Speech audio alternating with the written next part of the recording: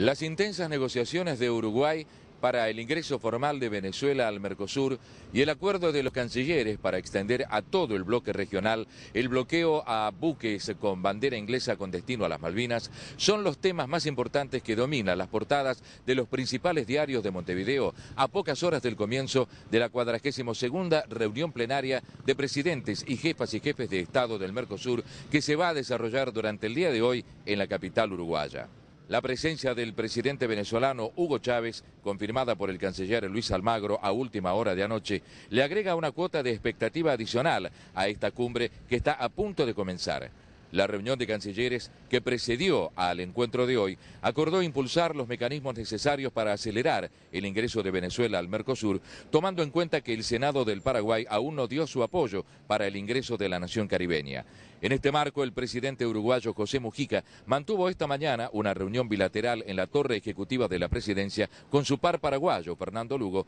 para compatibilizar criterios que permitan destrabar la situación. En cuanto al tema Malvinas, los cancilleres acordaron extender a todo el Mercosur el bloqueo a buques de bandera inglesa que naveguen aguas regionales y que pretendan dirigirse a las Islas Malvinas. Estos temas, más una declaración ratificando el respaldo a la Argentina en su reclamo por la soberanía de las islas, deberán ser tratados y aprobados esta tarde durante la reunión plenaria que los mandatarios mantendrán en el edificio Mercosur frente a las costas del Río de la Plata, en la capital del Uruguay.